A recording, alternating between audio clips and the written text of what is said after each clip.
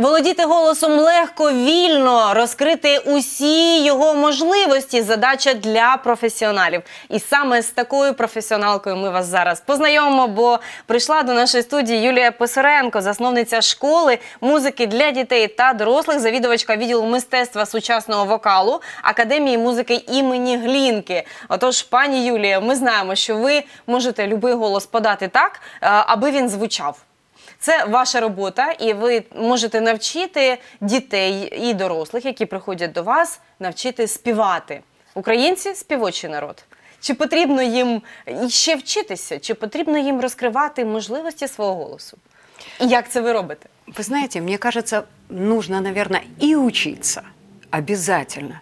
Но то, что у нас возможности огромные у нашего народа, у украинского народа, огромные возможности. Это действительно спевучая нация. Они великолепно поют, они великолепно интонируют, дети наши. Но, конечно, этому всему нужно учиться. Угу. А як Да. ви бачите, що є можливості у голоса? Як ви його перевіряєте? Е, Чи даєте якісь вправи, можливо, зразу, аби дізнатися, як далі працювати з ним? Вы знаете, очень интересно. Приводят совсем маленьких детей. Приводят детей три годика, четыре годика. И вот самое первое, что мы делаем, это мы проверяем слух. Мы играем на фортепиано какую-то маленькую простенькую мелодию и просим его повторить. И вот если ребенок повторяет эту мелодию, то есть мы знаем, что интонирование у него на высшем уровне, то есть у него даже не интонирование, а вот эта связь, э, сочетание голоса и связок, то есть услышать и сфокусировать и вывести этот звук правильно в нужном диапазоне, в нужном вот звучании. Угу. Вот это а такой діти есть, да. повторюють, так? Тобто навіть такі малесенькі Дети е, повторюют. з трьох років можуть маленькие, це зробити. Маленькие дети повторяют, совершенно маленькие, три годика, три с половиной. Наша школа, э, когда я создавала эту школу, я так и хотела, чтобы с самого маленького возраста. У меня даже был случай такой, когда мне написали в Инстаграме, написала мама, э, полгода ребенку, и она мне говорит, а можно мы придем на занятия? Я маме сказала, мамочка, я, конечно, все понимаю, но давайте дождемся, пока ребенку исполнится три года. И тогда я вас жду в своей школе, с удовольствием мы будем его обучать. Бачите, як зараз Да, батьки дбають да, про своїх да. дітей? Півроку ще б говорити не навчився, Да. але, але вже можна. А вы Співати знаете, можна. результаты какие? Вот 8 лет школа наша работает, и уже же выпустились наши выпускники, уже наши выпускники э, поступили и закончили музыкальную академию, и уже приходят работать В нашу школу. И вот я видела вот этот вот рост, как мы с маленького их воспитываем. Они воспитываются не только на уроках, а еще и на концертах. Мы проводим такие шикарные концерты для детей, тематические. То есть оценок у нас в школе не ставят, но дети все хотят заниматься. Хочуть співати чи хочуть они грати? хотят, а они хотят, у них есть требования, вот у них, они сами очень требовательные, наши дети. Я даже удивлена была, как маленький ребенок, он хочет работать, он хочет заниматься. То есть ему нравится, у него есть потребность. А знаєте, от діти так раніше скаржилися, музична школа це щось таке, там знущаються, заставляють е, ходити на уроки, і сольфеджіо, це все треба вчити, музичну грамоту і все-все. І е, просто йшли і плакали. У нас То- бегут. Біжать. Бегут на уроки. А як ви так зробили? Чим ви, знаєте, їх мотивуєте? Сейчас, я- да, действительно, нужна мотивация. Ну, первое, что я, конечно, веду активную педагогическую деятельность и разговариваю очень часто со своими преподавателями и с учениками.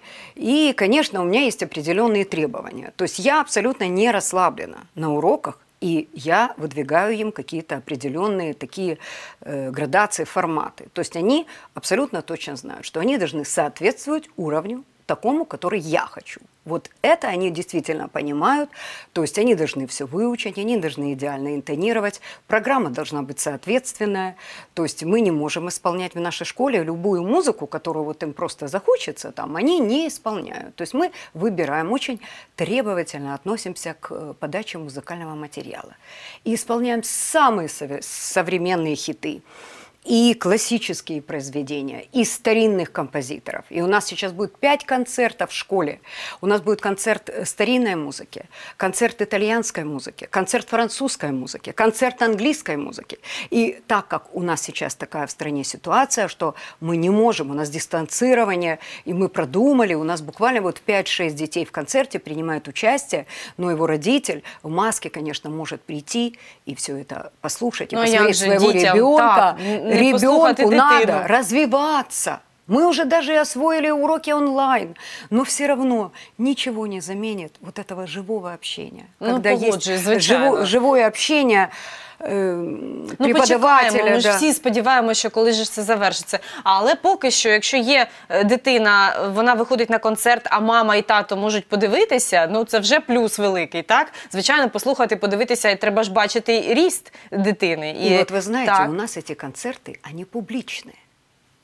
Обычно в школах, э, в музыкальных, вот я училась в свое время, у нас были академ-концерты, такие академ-показы, там, где дети исполняли, только преподаватели сидели и слушали, как комиссия, и исполнял ребенок. То есть у нас тоже есть такие, но у нас оно как бы не выносится на огромную публику, то есть это мы делаем по классам, такие академ-концерты. Но мы очень часто делаем вот эти концерты для родителей, когда сам ребенок понимает, что ему нужно подготовиться. Потому что придет Готовите его до мама сцены. и папа, да, придут и будут на него смотреть. А я говорю, ты же любимый, ты самый драгоценный. И вообще не существует неталантливых детей. А, ви не знаєте, существует. е, пані Юрій, я це знаю, і е, я ще також знаю, що ви виховуєте зірок. Тобто зірки справжні високого рівня, і вони можуть е, теж навчитись е, зробити з свого голосу якийсь шедевр. Ну, Тобто е, незвичайний може бути голос, так, а ви розкриваєте якраз ті нотки, яких раніше не помічали. Як це вдається робити? Я Чи вам є тут Да, методика да, ваша? Да. Эта методика, я училась годами, там, годами. То есть я проходила абсолютно всевозможные курсы. Раньше, когда это не было у нас интернета, не было так возможно, я заказывала э, ноты, и мне привозили из-за границы, я изучала эти джазовые э, стандарты, у меня огромные сборники мои, которые я сейчас создала как свои книги, я издаю, сейчас выходит моя методика, это будет большая книга э, со всеми описаниями, с распевками, то есть так, как я веду все эти уроки. То есть э, голос – это такой тонкий инструмент, вот здесь, как у врача, главное не навредить, не навредить, да, и правильно петь. Существует регистровость. То есть это, ну, это очень сложно, я не знаю, как нашим зрителям будет это интересно, но то, э, женский регистр существует там многогранные то есть степени, и есть правильное взятие звука, то есть как э, корень языка расположен, как мягкое небо, как звучит. Это все абсолютно оправдывается физиологически. И это все доказано научно. То есть это очень сложно. Это не просто, что вот он э, пришел, мы ему сказали там мимо маму, и он спел. Нет. То есть они у нас поют сложнейшие джазовые стандарты. Ну вот, может быть, вам будет интересно, э, то есть и зрителям, я вам, ну, буквально кусочек, то, что исполняют наши студенты и ученики. Туп туп три банун ти, ту банан три ду дам ти. Три па ду ди, ту банан три ду ди. Ту банан три ду, банан три ба ду ди. Клас! Браво, браво, пані Юлія. Так, і ви і себе можете також їм подати в приклад, так? Безусловно. Без показа, без подачи, без э, инструмента. Я сама в свое время закончила э, фортепианный факультет с отличием. Я прекрасно владею фортепиано, я играю без нот, в любых тональностях, любые Можете песни, що завгодно самые зіграти, современные. так? Що завгодно. Ну, ви бачите, якщо ви талановита, ви можете десь е, пок- е, навчити показати, над чим працювати дитині, яка ще, можливо, не зовсім розуміє, куди йти, в якому напрямку рухатись. Тобто ви бачите це. Я вижу, Не, я не вижу наш- это. От, от кажете, не нашкодити, так? А чим Да. можна нашкодити? Може, знаєте, в підлітковий Я вам вік... расскажу. Неправильное взятие звука. Э, сказать ребенку, пой громче, громче, громче, еще ярче, еще раньше, а он неправильно берет звук И он просто может сорвать себе голос. И никогда, и все, и все. Один раз он сорвет себе голос, и дальше уже из этого голоса э, соловья не выйдет. А Как знаєте, ну говорится. це відомий приклад, е, так, коли ми всі е, слухали там і- італійських е, е, виконавців, так і ми знаємо приклад, коли в підлітковому віці таки нашкодили, так, коли Да. е, ми перестали слухати. А можна було би і Можно зробити было так, бы. щоб е, людина Можно было співала. бы. Да, И это можно было бы сделать. И вы знаете, я изучала это период мутации. Э, Я изучала очень многих, и врачей, я с ними разговаривала, я читала очень много литературы. И вы знаете, что интересно? Они пишут, что именно в такой период мутационный нужно петь. Но нужно очень осторожно это делать, чтобы связки привыкли. То есть э, связки человек растет, связки растут, они смыкаются уже не так, как привычным образом, и человек перестает координировать, он не может спеть. У него опускаются регистры, они утолщаются связки, голос становится грубее у мальчиков. Скорее это относится мутация, это слово, которое относится скорее к мальчикам. Хотя у девочек точно так же бывает этот мутационный период. Просто он не так ярче выражен, так ярко выражен, но тоже в этот момент настолько надо быть осторожным с голосом, чтобы воспитать действительно сильного певца. Угу. Ну і він же потім через деякий час може і е, грубим голосом співати, а чому б ні, так? Ну, Да, якщо, наприклад, да, голос змінився. Да, да он, может, он может потом петь любыми голосами. То есть если с ним заниматься, с ребенком, то есть он будет петь. И я вам хотела рассказать случай.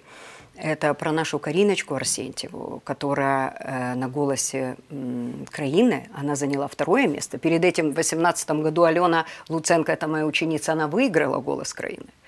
И действительно, вы знаете, меня интересовал вопрос, дали ей квартиру или нет? Дали. Так? Да, так, в Ага. Киеве дали квартиру. Супер, Такие супер, это правда. таки так. Меня Бачите, интересовал а, пані этот Юлія, вопрос. с- справді важливо, щоб Да. е, таланти Мне мали. очень, я настолько, вы знаете, радуюсь успехов своим ученикам, у- учеников своих. И я их везде встречаю. Это удивительные дети, просто удивительные. Они таланты, они артисты, они востребованы. У них очень много работы. Я сама очень много работаю, я не А, работаю Пані Юлія, ну дивіться, е, справді має талант е, людина, так? Ви її навчили, ви довели вже до якогось рівня. Е, Вона там, наприклад, перемагає на конкурсах. А що далі? Чи буде з неї співак, чи буде з неї артист? Це від кого залежить? Від Ви самої знаєте, людини? Чи Да, да, это залежить від самої людини. То есть как она себе представляет, как человек себе сам представляет свою жизнь.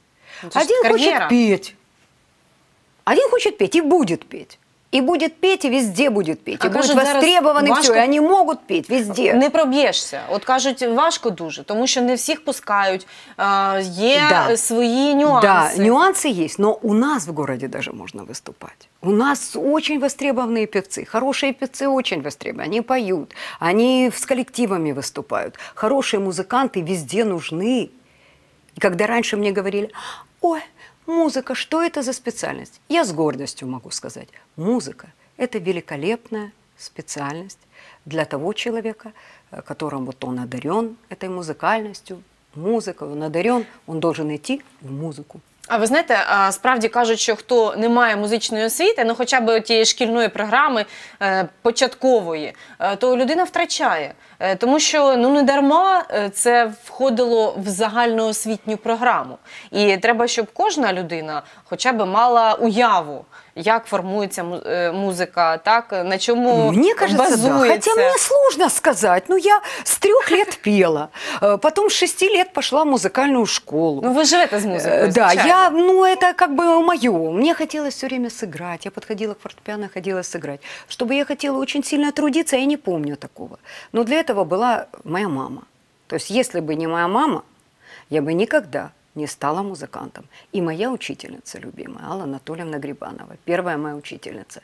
Это удивительная женщина, которая подарила мне этот прекрасный мир музыки, которая меня научила, научила звуку, она учила меня игре на фортепиано. Я прекрасно, я закончила школу, потом поступила в училище, закончила с отличием, и потом в Киев уехала, и уехала в Киев, и там уже училась вокалу, и дирижированию, и вокалу, и фортепиано. Это все я проходила в Киеве. А потом, когда я приехала сюда, и я вам могу сказать, здесь не было ни одного эстрадного отделения.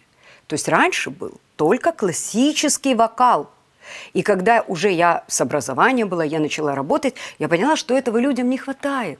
То есть мы хотим петь и современную музыку, мы слышали англоязычных певцов, мы хотели их петь французскую музыку, итальянскую, мы тоже хотели это исполнять.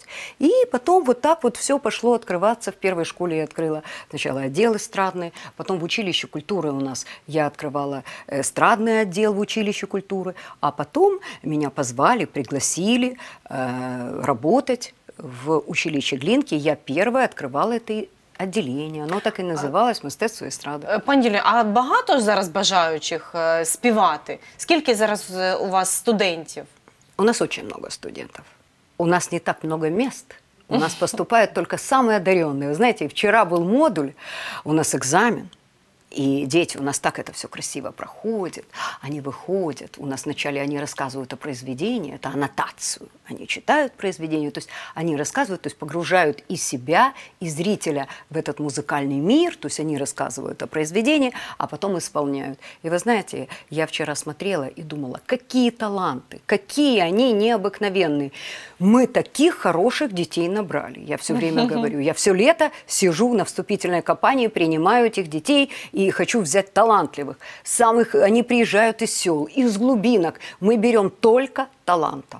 А як треба готуватися, щоб п- потрапити, щоб ви сказали Нужно, так? нужно. Ви нам Да, підходите. да, ви знаєте, Ви ж сувора да, вчителька. Да, все. Я не сувора вчителька, но я требовательна. Ну так, вимагаєте. Я знаю просто, как нужно, и я требую, и мои ученики, а мне кажется, что они меня любят, у меня с ним очень теплые отношения, и даже с теми, кто уже давно закончил, я с ними в очень хороших отношениях. Ну, конечно, и требую с них. Угу. Ну треба мало вчи... мало співати те, що вам захочеться, так? Треба готуватись. Очень, очень нужно готовиться.